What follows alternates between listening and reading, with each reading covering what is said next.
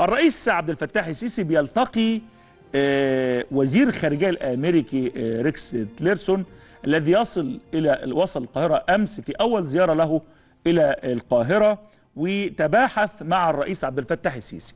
والملف الأول في المباحثات بين الجانب المصري والجانب الأمريكي ممثل في وزير الخارجيه الأمريكي هو آه، عودة مفاوضات الحل النهائي للقضية الفلسطينية.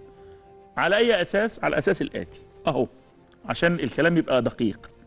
موقف مصر الواضح والثابت بشأن التوصل إلى حل عادل وشامل يضمن حقوق الشعب الفلسطيني وإقامة دولته المستقلة على أساس إيه؟ حدود 1967 حدود الرابع من حزيران يونيو 67 وعاصمتها القدس الشرقية.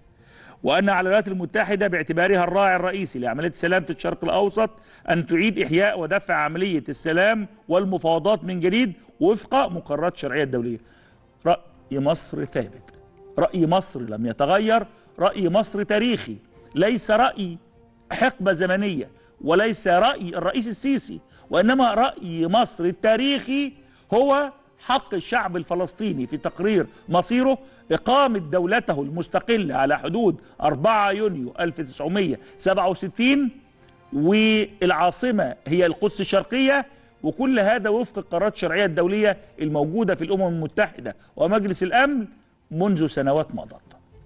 أنا ليه بقرأ بالنص وبقول؟ لأنه موضوع القضية الفلسطينية والتشكيك في موقف مصر كان موضوع خلال الفترة الماضية وإحنا التشكيك يعني هناك يعني آه، آه، ماكينات شائعات وتشكيك مستمر في كل الثوابت الموجودة لمجموعة لا يتقون لا وطن ولا رب ولا إله في كل الأحوال.